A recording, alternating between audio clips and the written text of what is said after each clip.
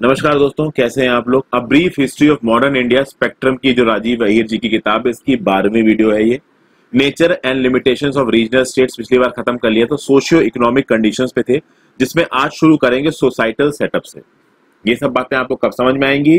जब इस किताब को आप अपने सामने खोल के बैठेंगे। और वैसे भी इस किताब को खरीद लीजिए दोस्तों और मेरे साथ पढ़ने की कोशिश कीजिए। मैं बहुत ज़्यादा इलेबोरेट नोट्स अपने इस पीपीटी में नहीं दे रहा हूँ। उसका एक रीजन ये है मैं किताब आपको दिखा नहीं सकता, वो कॉपीराइट वॉल्यूशन हो जाएगा। दूसरा नोट्स में ज़्यादा दे दूँगा तो जो वीडियो को अपलोड करने की स्पीड है वो कम हो जाएगी। तीन वीडियोस में कम से कम आधे आधे घंटे की रोज अपलोड करता हूँ। अभी अकेले जाने या नौकरी भी करता हूँ, मैं इससे ज़्यादा नहीं कर सकता। फ़िलहाल अभी के लिए। अक्टूबर में आपका यूपीएससी प्रीलिम्स का एग्ज़ाम है यूपी पीसीएस भी शायद अक्टूबर में ही पढ़ रहा है 2020 में। उससे पहले ये किताब मैं पूरी कोशिश करूँगा कि खत्म हो जाए। ठीक है? आप इतना कर दीजिए कि ज़्यादा से ज़्यादा लोगों के साथ शेयर करिए। शुरुआत करते हैं सोसाइटल सेटअप से। आई होप आपने बुक खोल रही होगी अपने सामने। देखिए 18वीं शताब्दी की अगर इंडियन सोसाइटी की बात की जाए तो ऑब्वियसली बात है, उस समय की इंडियन सोसाइटी को आप मॉडर्न तो कह नहीं सकते। मॉडर्न कैसे बोलोगे? आप सोचिए, आज की इंडियन सोसाइटी में कास्ट सिस्टम जैसी चीज़ें एग्जिस्ट करती हैं। आज की मॉडर्न इंडियन सोसाइटी में हम 2020 में रह रहे हैं तो लोग सुपरस्टिशन को मानते हैं कि भैया सड़क पर चल लो बिल्ली रास्ता काट गई तो रुक जाओ। तो जब आज लोगों की थिंकिंग बैकवर्ड हो रखी है तो आप सोचिए अठारहवीं शताब्दी की इंडिया की तो क्या हालत रही होगी। बिल्कुल ट्रेडिशनल आउटलुक बिल्कुल ट्रेडिशनल स्टैग्नेशन वो मॉडर्निटी की तरफ़ जाने को तैयार ही नहीं थे। ये प्रॉब्लम था। लेकिन हाँ आप देखोगे दोस्तों, कि भले ही सोसाइटी अलग अलग चीज़ों पे बटी हुई थी, जैसे सोसाइटी आपका कास्ट के नाम पे बटी थी सोसाइटी आपका रिलीजन के नाम पे दबी थी, फिर रीजनल एलिमेंट्स भी भाई सोसाइटी में बहुत थे कि मैं इस जगह का हूँ, मैं इस जगह का हूँ। ट्राइबल एलिमेंट्स थे भाई। मैं इस ट्राइब का हूँ। लैंग्वेज वाला एलिमेंट था भाई। मैं ये लैंग्वेज बोलता हूँ, वो वो लैंग्वेज बोलता तो डिस्टिंक्शन थे सोसाइटी में बट एक ब्रॉड कल्चरल यूनिटी थी। हमेशा से इंडिया में अलग अलग कास्ट के अलग अलग रिलीजन के अलग अलग रीजन के लोग साथ में रहते हैं। प्रॉब्लम तब आती है जब जो पॉलिटिकल मास्टर्स हैं या जो रुतबे वाले लोग होते हैं सोसाइटी में, वो इन डिस्टिंक्शन का प्रयोग करते हैं अपने फ़ायदे के लिए। जो कि हुआ था जब हमारा देश आबाद हुआ था और इंडिया पाकिस्तान बन गया था। खैर, वो एक अलग बात है। तो एक कल्चरल यूनिटी थी। डिस्पाइट ऑफ़ द फैक्ट कि society caste religion region tribe और लैंग्वेज बटी पर फिर भी कल्चरल यूनिटी थी। फैमिली का अगर आप सेटअप देखोगे तो फैमिली मोस्टली पैट्रियार्कल थी। पैट्रियार्कल मतलब घर के मेल मेंबर्स की चलती थी। ठीक है? फीमेल मेंबर्स को ज़्यादा ध्यान नहीं दिया जाता था। कास्ट एक इंपॉर्टेंट रोल प्ले करती थी हिंदूज की लाइफ में, चूँकि जो हाई कास्ट हिंदू थे, ब्राह्मण और क्षत्रिय, उन्होंने सोचा कि अगर हमको अपनी ताकत बना के रखनी है तो नीचे वालों को दबाना पड़ेगा तो दबा रहे थे। अच्छा एक खास बात यह है कि देखिए, चार वर्णन तो हम सबको पता है। ब्राह्मण, शूद्र और आपका वैश्य और क्षत्रिय। इन चार वर्णों के अलावा भी जो हिंदू सोसाइटी थी, वो बहुत सारी छोटी छोटी सब कास्ट में बटी हुई थी। और वो छोटी छोटी सब कास्ट में बांट के पता क्या कर दिया था लोगों ने? इस सोसाइटी को बांट दिया था काम के हिसाब से। जैसे अभी भी अगर आप यूपी के या बिहार के किसी रूरल इलाके में या सबर्बन इलाके में रहते हो तो अक्सर अगर आप लोगों को कहते देखोगे कि भाई धोबी वहाँ रहता है, धोबी यहाँ रहता है। मतलब वो पर्सन जो कि कपड़े धुलने का काम कर रहा है, उसको आप उसके नाम से ना बुला के आप उसको धोबी बोल रहे हो। मिडवल इंडिया में धोबी नाम की कास्ट हुआ करती है दोस्तों, जिसका यही काम था कि वो कपड़े धोएगा। समझ गए? तो बहुत सारी सब कास्ट बन गई थी अलग अलग जो काम थे। तो भाई, मान लो एक कुम्हार है, एक पॉटर है तो भले घड़े बनाता है, पर उसको बोलेंगे क्या? अरे भाई, कुम्हार के घर चले जाओ। अरे भाई, कुम्हार का घर का है? उसका नाम नहीं बोलेंगे। उसके प्रोफेशन से उसको बुला रहे क्योंकि उसकी प्रोफेशनल आइडेंटिटी ही उसकी सब कास्ट आइडेंटिटी बन गई है। ये था वहाँ का सीन अच्छा एक और खास बात दोस्तों। ये भी नहीं कहा जा सकता कि भाई कास्ट सिस्टम जो था और जो सब कास्ट सिस्टम था, वो बिल्कुल हर जगह पूरे इंडिया में फिक्स हो गया था। इंडिया में बहुत सी ऐसी जगहें थी जहाँ पे लोगों ने अपनी काबिलियत के दम को अपने आप को सोसाइटी में ऊपर उठाया। मतलब वो अपनी कास्ट से ऊपर उठे। अगर वो कोई दूसरा अच्छा काम करते हैं तो वो ऊपर आए। तो कभी कभी आप देखोगे कि जो बिल्कुल लोअर कास्ट के लोग थे, उन्होंने भी अपनी मिलिट्री स्किल्स के दम पे मिलिट्री हरारकी में ऊपर आते हुए आपको नज़र आएँगे। तो भले ही कास्ट के नाम पे, सब कास्ट के नाम पे पूरी हिंदू सोसाइटी को बांट रखा था और केवल हिंदू सोसाइटी नहीं इवन मुस्लिम सोसाइटी में भी कास्ट बनी थी, उसके बारे में भी बात करेंगे। उसके बावजूद भी जो काबिल लोग थे, वो ऊपर आए। मतलब ये जो सब कास्ट और कास्ट सिस्टम्स थे, ये कुछ इलाकों में स्ट्रिक्टली इन्फोर्स हो रहे थे और कुछ इलाकों में थोड़े से फ्लूड थे, थोड़े एक्सेप्शन थे। और आप देखोगे दोस्तों, जो आदमी ताकतवर बन के ऊपर उठेगा ना, ठीक है, वो पूरी चीज़ों को अपने हिसाब से बदल देगा और जो कमज़ोर रह गया, उसको और दबाते जाएँगे। यही हो रहा था उस समय पे। फिर भाई जो कास्ट के नियम कानून थे नॉर्म्स थे रेगुलेशंस थे, बड़े नाम होते थे ना कि भाई ये कास्ट की लड़की है तो इसी कास्ट के लड़के शादी करेगी। इस लड़के ने दूसरे कास्ट की लड़की से कैसे शादी कर ली? तो इस पे काफ़ी बवाल चलते थे। तो इन बवालों को हैंडल करने के लिए कास्ट काउंसिल्स बना रखी थी, पंचायत बना रखी थी, जाति पंचायत बना रखी थी उस समय पे, जो इन सब चीज़ों पे एक्शन लिया करती थी। ठीक है? अब बात की जाए, देखिए हिंदू सोसाइटी तो कास्ट पे बटी थी। तो क्या मुस्लिम सोसाइटी कास्ट पे बटी थी देखिए, मुस्लिम सोसाइटी में कास्ट नहीं है दोस्तों। इस्लाम में कास्ट नहीं है। इस्लाम में ये होता है कि भाई, जितने भी लोग हैं सब बराबर है। तो आप देखोगे कि जब इस्लाम धर्म इंडिया में आएगा तो बहुत सारे जो लोअर कास्ट के लोग हैं हिंदू के, वो इस्लाम में कन्वर्ट होंगे। क्यों कन्वर्ट होंगे? ऑब्वियसली बात है हिंदू धर्म में उनको इक्वलिटी नहीं मिली। उनको दबाया गया तो वो बेचारे करें तो करे क्या? तो उन्होंने बोला कि भाई, जहाँ हमें इक्वलिटी मिलेगी, जहाँ हमें इज़्ज़त मिलेगी, हम वहाँ जाएँगे। तो वो मुस्लिम धर्म में कन्वर्ट हो गए। अच्छा धीरे धीरे आप देखोगे कि मुस्लिम धर्म की जो हैरारकी थी ना, उस पर भी हिंदू धर्म की हैरारकी का फ़र्क पड़ा। तो मुस्लिम धर्म में भी थोड़ी थोड़ी कास्ट आनी शुरू होंगी। तो मुस्लिम्स के अंदर भी कास्ट आ जाएँगी रेस आ जाएगी ट्राइब आ जाएगी स्टेटस आ जाएगा। तो रेस कैसे? तो भाई ये ईरानी रेस का है, ये अफगान रेस का है, ये तुरानी रेस का है, ये तो इंडियन मुस्लिम है। इस तरीके से अलग अलग रेस के मुस्लिम्स अलग अलग मानने लगेंगे अपने आप। फिर उनकी ट्राइब्स भी बहुत अलग अलग थी दोस्तों। अफगान, अफ़गानिस्तान में ही बहुत सारी अलग अलग ट्राइब्स तो मुगल कोर्ट्स में जो नॉबल बैठते थे तो अगर कोई अलग अलग ट्राइब का है तो उनके अंदर इस बात पर लड़ाई हो जाएगी। फिर मुस्लिम धर्म के अंदर लोगों में भी कुछ कास्ट बन गई थी। जैसे फॉर एग्ज़ाम्पल एक होते थे आपके शरीफ मुस्लिम्स।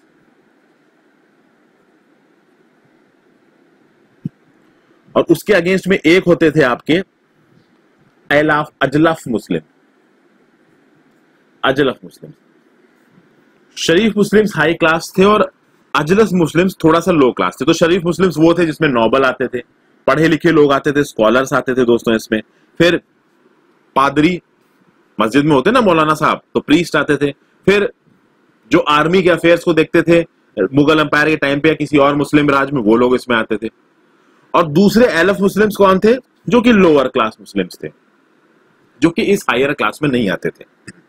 तो ये जो शरीफ मुस्लिम्स थे, ये अजलब मुस्लिम्स के साथ कुछ उस तरीके का व्यवहार करते थे, जिस तरीके से high caste Hindu lower caste Hindu के साथ व्यवहार करते थे। तो कुछ हद तक मुस्लिम सोसाइटी भी कास्ट के हिसाब से बटी हुई थी, लेकिन मुस्लिम सोसाइटी में जो कास्ट सिस्टम बटा था, वो उतना खतरनाक नहीं था जितना हिंदू सोसाइटी का कास्ट सिस्टम था। हिंदू सोसाइटी को तो पूरा ही कास्ट सिस्टम के नाम पे बांट दिया। मुस्लिम्स में भी कास्ट सिस्टम आई बट थोड़ा कम आई, उतना नहीं आया। और आप देखोगे कि हिंदू सोसाइटी में जो कास्ट सिस्टम की वजह से बंटवारा हुआ, उसकी वजह से बहुत मैसिव स्केल पे रिलीजियस कन्वर्जन शुरू होंगे इंडिया में। वो भी सोलहवीं, सत्रहवीं और अठारहवीं शताब्दी। हालाँकि पहले से भी हो रहे थे। अब बात करेंगे कि भाई वुमन की क्या हालत थी उस टाइम पे? तो जैसा कि मैंने पहले बताया, देखिए जो सिस्टम था सोसाइटी का सिस्टम था, वो पेट्रियार्कल था। जो मेल मेंबर था, वो राजा था। केरला में कुछ सोशल ग्रुप्स को छोड़ दिया जाए तो पूरी सोसाइटी में वुमेन्स को दबाया जाता था। उनकी खुद की कोई इंडिविजुअलिटी थी ही नहीं। वो एक इंडिविजुअल है, जिनकी खुद की कुछ रिक्वायरमेंट्स है, इस तरीके की कोई सोच नहीं थी। और यहाँ पे देखोगे दोस्तों, जो हाई क्लास लेडीज़ थी ना, उनकी हालत ज़्यादा खराब थी और लो क्लास लेडी की हालत थोड़ी कम खराब थी। हाई क्लास लेडी थी, जैसे कि नॉबल्स वगैरह में और जो हिंदू हाई क्लासेस थी, उनकी लेडीज़ का क्या था कि भैया, ये घर से बाहर नहीं निकलेंगी, ये घर के अंदर रहेंगी, पर्दा में रहेंगी, ये बाहर निकलेंगी ही नहीं। लोअर क्लास वुमेन में तो ये हो जाता था दोस्तों की लोअर क्लास में जो वुमेन्स थी, उनको काम करके अपनी हस्बैंड की मदद करनी होती थी, अगर घर का खर्चा चलाना है तो। तो आपको lower class women agriculture field में काम करती हुई नज़र आ जाएँगी, ताकि वो फैमिली इनकम को बढ़ा सके। तो यहाँ पे एक कॉन्ट्रडिक्शन देखने को मिलता है कि हाई क्लास वुमेन को बाहर निकलने की परमिशन नहीं थी इनफैक्ट उनको पढ़ने की भी परमिशन नहीं थी। मतलब घर पे भी बैठा रखा है तो भी उनको घर में दबा के रखो, पढ़ने मत दो, ठीक है? लेकिन लो क्लास वुमेन का पढ़ाई तो नहीं थी बट कम से कम वो बाहर निकल के कुछ काम तो कर रही थी। ये वाली बात थी। फिर बहुत सारे एक्सप्लॉयटेटिव कस्टम्स चल रहे थे सोसाइटी में तो उनको पर्दा करके रखना पड़ता था, खासकर जो मुस्लिम वुमेन थी, उनको कंटिन्यूसली पर्दा करना था। सती की प्रैक्टिस थी कि भैया, अगर आपका हस्बैंड मन गया तो जब हस्बैंड की अर्थी चिता जलेगी तो आपको भी उस पर बैठा देंगे। हिंदू सोसाइटी में, कम से कम मुस्लिम सोसाइटीज में इस तरीके की कोई वो नहीं थी। आप देखेंगे कि किस हद तक हिंदू सोसाइटी की हालत खराब थी, गिरी हुई थी कि एक हस्बैंड मर गया तो उसकी चिता के साथ लेडी को बैठा दो उसको भी जला दो। मतलब उसकी कोई इंडिपेंडेंट एग्जिस्टेंस है ही नहीं। इंडिपेंडेंट एग्जिस्टेंस तो वैसे ही नहीं थी जला भी दो यहाँ पे। मतलब इस हिसाब का उस समय का हिसाब तो आप सोच ही लीजिए उस समय के दिमाग के लो, लोगों का क्या माइंडसेट रहा होगा। तो आप यहाँ पे मॉडर्निटी की तो बात ही नहीं कर सकते जब ये हालात चल रहे हैं। फिर चाइल्ड मैरिज थी छोटे छोटे उम्र में ही बच्चों की शादी कर दी जाती थी। फिर पॉलीगैमी तो एक एक आदमी चार चार औरतें रखे। चार चार औरतें रख रखा है तो भाई किसी एक इंडिपेंडेंट लेडी की कोई, आप कह सकते हैं इंडिपेंडेंट एग्जिस्टेंस थी ही नहीं, ना ही उसकी सोच में उसकी इंडिपेंडेंट एग्जिस्टेंस थी, ना ही उसके पर्सनल स्पेस में कोई उसकी इंडिपेंडेंट एग्जिस्टेंस थी, और बाहर जाना तो उसका वैसे ही मुश्किल था, अगर हाई क्लास की वुमेन है। तो आप देखोगे वुमेन की हालत बहुत खराब थी, और खासकर जो हिंदू विडोज थी, उनकी हालत बहुत खराब थी। पहले तो उनको बोलते थे कि सती में बैठाल के इसको जला दो। कहो, मान लो गलती से कोई बच गई तो भैया उसको जीने नहीं देते थे, ये हालात थे। हिंदू सोसाइटी के। अच्छा यहाँ पे एक व्यू पॉइंट दिया है एबे डबिस ने। इन्होंने बोला है कि उन्नीस उन्नीसवीं शताब्दी की शुरुआत में एक चीज़ बहुत अच्छी बोली इन्होंने। देखिए इन्होंने क्या कहा है। A Hindu woman can go anywhere alone, even in the most crowded places, and she never and she need never fear the impertinent looks and jokes of idle loungers. यानी कि आप देखिए आज के डेट में होता है ना कि कहीं लेडीज़ निकल जाए तो कुछ ना कुछ आवारा बेवकूफ़ घूमते ही रहते हैं कि आँख मार दी सीटी मार दी। इस टाइप की चीज़ें उस समय पे कभी नहीं होती थी एक हिंदू वुमन के साथ। ये एबे डोबिस का बोलना है। तो कुछ अच्छे कमेंट्स भी आए हैं उस टाइम की सोसाइटी के लिए। अच्छा अगर डाउरी की बात की जाए तो डाउरी बहुत ज़्यादा प्रेवलेंट थी, खासकर बंगाल के इलाके में डाउरी बहुत ज़्यादा प्रेवलेंट थी। और केवल हिंदुओं में नहीं, मुस्लिमों में ही प्रेवलेंट थी। और मुस्लिम ही छोड़ो, अंग्रेज़ों में थी डाउरी।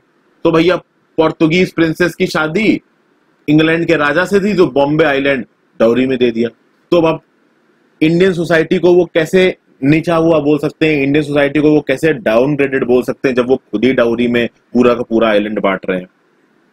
फिर आप देखेंगे दोस्तों कि राजपूताना में भी डाउरी बहुत चलती थी और विडोज की हालत बहुत खराब थी। तो कुछ ऐसे लोग सामने आए जिनको लगा कि भाई ये विडोज बहुत परेशान है, इनके लिए कुछ तो करना चाहिए। तो कौन थे? तो अंबेर के राजा था, राजा सवाई जय Singh Raja Sawai Jai Singh was a man of science he was a man ahead of his time no doubt about it फिर एक मराठा जनरल थे परशुराम भाऊ। इनको भी देख के लगा कि इन वीडियोस के लिए हमको कुछ करना चाहिए। इन्होंने कोशिश भी करने, की करने की बट उस समय पे सोसाइटी के जो लोग थे ना, उनकी मेंटल हालत इतनी ज़्यादा खराब हो गई थी कि अगर कोई कुछ करना भी चाहे, सती प्रथा को रोकना भी चाहे तो वो रुकने नहीं देंगे। आपको एक बात पता होगी, अकबर ने भी सती को रोकने की कोशिश की। वो भी नहीं रोक पाया। अकबर जैसा राजा सती की प्रथा को नहीं रोक पाया। पोर्तुगीज ने तो जिस इलाके पर कब्जा किया, वहाँ पे सती बैन ही कर दिया। तो उनकी तो अलग ही बात हो गई। लेकिन अकबर, राजा सवाई जयसिंह, मराठा जनरल परशुराम भाव उन्होंने सती प्रथा को रोकने की कोशिश की, ये नहीं रोक पाए दोस्तों। एंड में राजा राम मोहन जॉय जी एक तगड़ा लड़ाई लड़ेंगे और फाइनली किसी तरह सती प्रथा को रोकेंगे।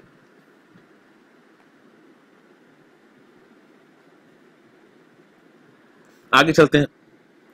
अच्छा स्लेवरी की बात की जाए तो क्या उस समय पे गुलाम थे इंडिया में? बिल्कुल गुलाम थे। तो बहुत सारे यूरोपियन ट्रेवलर्स और एडमिनिस्ट्रेटर्स आए इंडिया में। उन्होंने बताया कि भैया सत्रहवीं शताब्दी इंडिया में बहुत स्लेव हुआ करते थे। और थोड़ा बहुत स्लेव ट्रेड भी हुआ है दोस्तों इंडिया से। आप ये देखोगे नॉर्मल कर ये माना जाता है कि नॉर्थ अमेरिका में जो स्लेव्स जाते थे, वहाँ पे फार्म्स में काम करने के लिए, वो अफ्रीका से जाते थे। ऐसा नहीं है।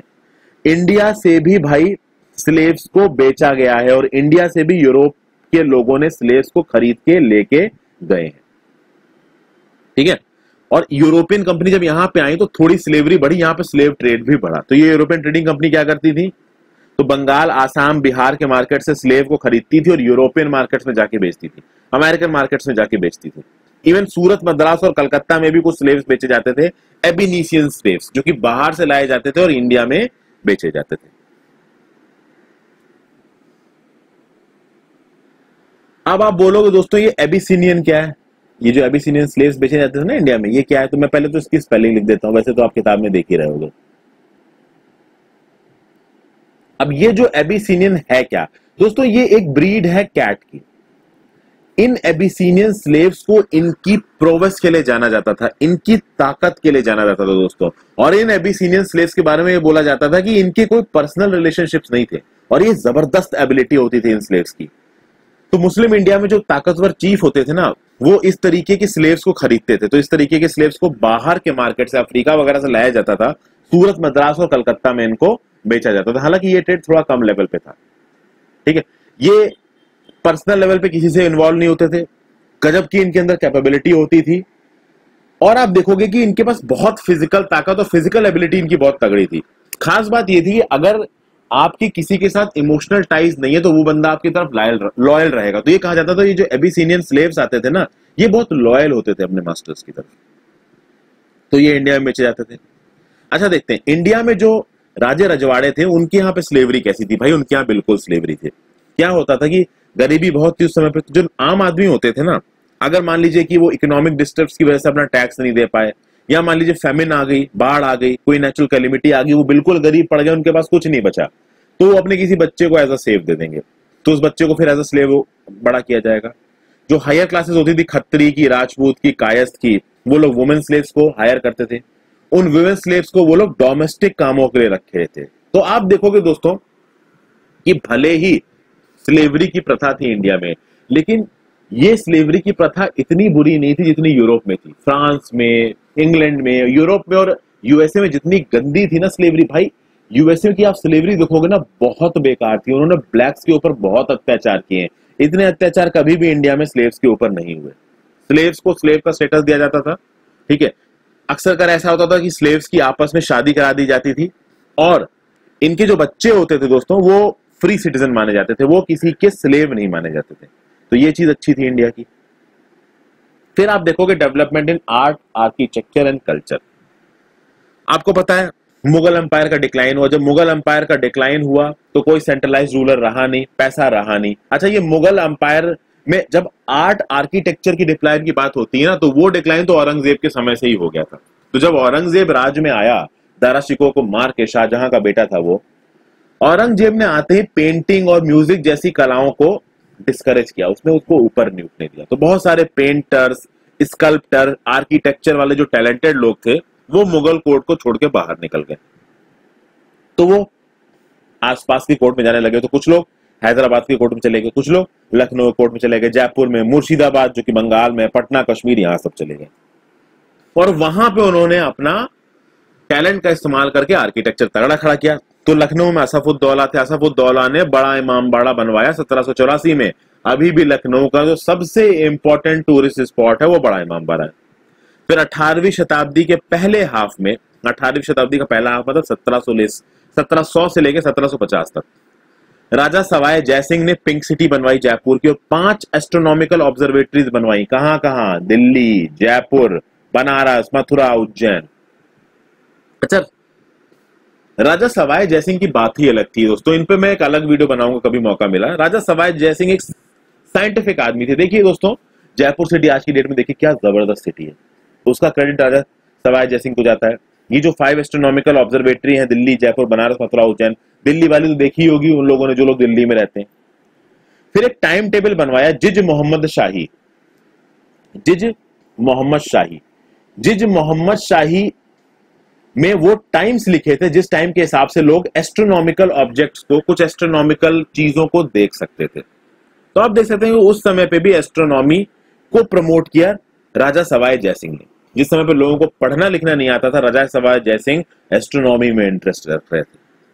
फिर केरला के साउथ में आते हैं आप। साउथ में केरला में आते हैं, वहाँ पे पद्मनापुरम पैलेस मिलेगा।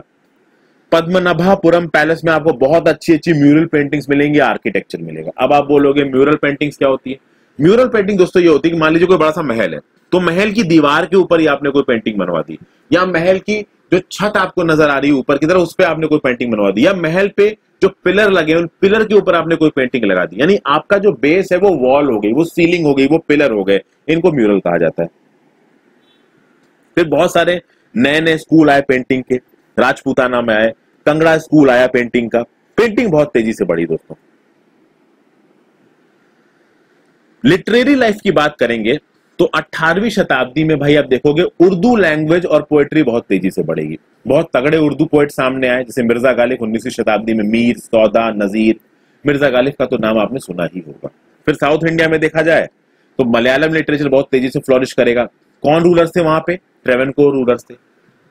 एक बहुत इंपॉर्टेंट मलयालम प्लेट है, कंचन नाम्बियार तमिल लैंग्वेज में भी इजाफा हुआ प्रोग्रेस हुई सितार पोएट्री के थ्रू सितार पोएट्री के एक बहुत तगड़े एक्सपोनेंट थे, बहुत तगड़े परफेक्शनिस्ट थे, जिनका नाम था तयू मनवार। 1706 से लेकर 1744 में एक्टिव थे। तयू मनवार ने एक मूवमेंट चलाया, उन्होंने बोला, ये जो टेंपल रूल मूवमेंट है, ये जो धर्म के ठेकेदार बैठे हैं, जो लोअर कास्ट के लोगों को टेंपल में घुसने नहीं देते हैं, उनके खिलाफ आंदोलन चलाया तयू मनवार जी ने। तो एक इंपॉर्टेंट अच्छा उस समय पे आंदोलन चलाना बड़ी बात थी, उस समय पे आवाज़ उठाना बड़ी बात थी, क्योंकि जो हायर कास्ट थी, वो काफ़ी ताकतवर थी उस टाइम पे। फिर एक पंजाबी लिटरेचर में एक फ़ेमस एपिक है हीर रांझा रोमांटिक एपिक है ये। इसको कंपोज किया था वारिस शाह जी ने।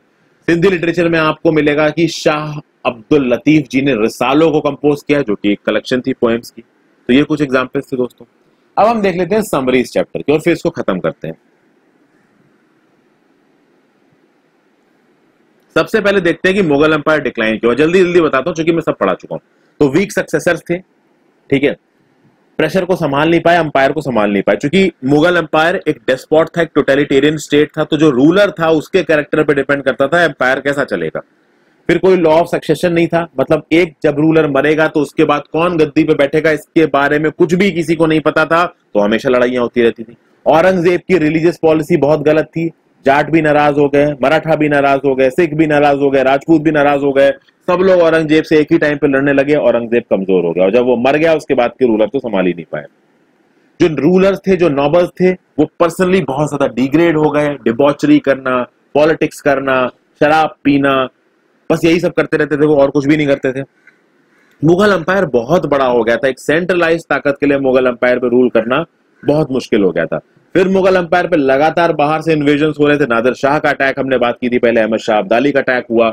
इकोनॉमिक लेवल पे भी डिक्लाइन हो रहा था भाई। एग्रीकल्चर डिक्लाइन हो रहा था। मनसबदारी बढ़ाते जा रहे थे। जगह थी नहीं टैक्स बढ़ा दिया। प्रेजेंट ने बोल दिया, हमारे बस की नहीं है भाई। ठीक है? फिर औरंगज़ेब लगातार वॉर लड़ रहा था, जिसकी वजह से सेंट्रल मुगल ट्रेजरी खाली हो गई। फिर आप देखोगे यूरोपियन कंपनीज़ भी आ गई। तो Portuguese company Dutch company English company French East India company वो भी पावर पॉलिटिक्स में इन्वॉल्व हो गई। जमींदार इधर उधर शिफ्टिंग करते रहते थे।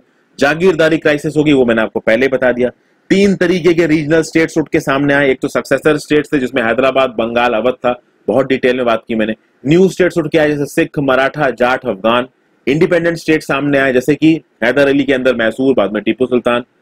किंग मार्तंड वर्मा के अंदर केरला।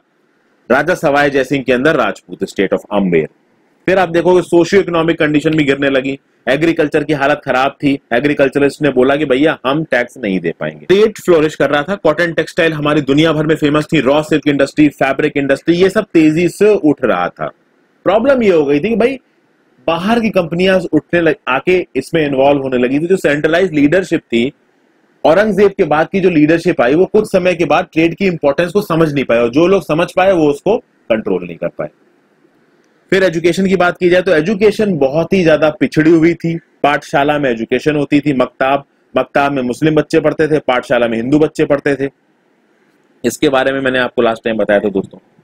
और सोसाइटी में किस तरीके के वर्ण थे सब कास्ट मुस्लिम सोसाइटी में आपका सब कास्ट सिस्टम ये सब तो मैंने आपको इस वीडियो में समझा ही दिया। तो थोड़ा जल्दी जल्दी मैंने चीज़ें बताई दोस्तों ताकि वीडियो अच्छी खत, मतलब काम भर की चीज़ें आपको कम से कम समय में मिल जाए। अगले वीडियो में हम लोग चैप्टर फाइव शुरू करेंगे। और देखिए दोस्तों थोड़ा सा काबू रखिए आप में से बहुत सारे लोग बोलते हो कि, ठीक है सर, वीडियो जल्दी बना दो। मैं पूरी कोशिश कर रहा हूँ कि प्रिलिम से पहले ये लक्ष्मीकांत स्पेक्ट्रम दोनों कंप्लीट हो जाए। मेरी तो देखिए पूरी कोशिश रहेगी।